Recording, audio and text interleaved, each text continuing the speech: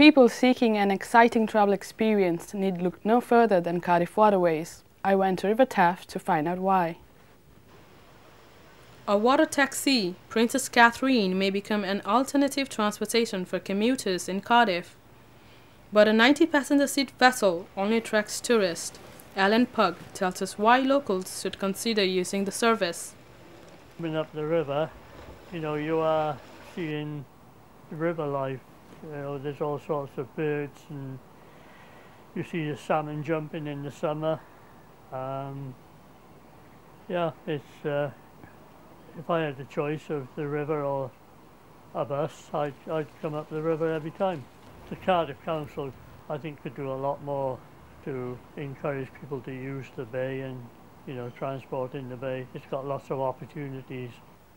Operated by family business, tourists can board from the beautiful Bute Park in the heart of the city to travel to the Cardiff Bay. I just thought it'd be nicer, you know, the views, going on water, things like that. It's just different. There's less traffic, it's nicer, you know, you can take pictures and things like that. So yeah, it's just nicer. What do tourists think of the service offered by the water taxi?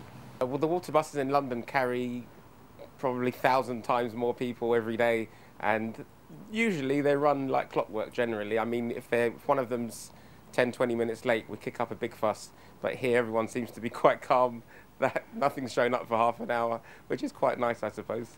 It is hoped that a modern vessel and improved routes will attract new customers.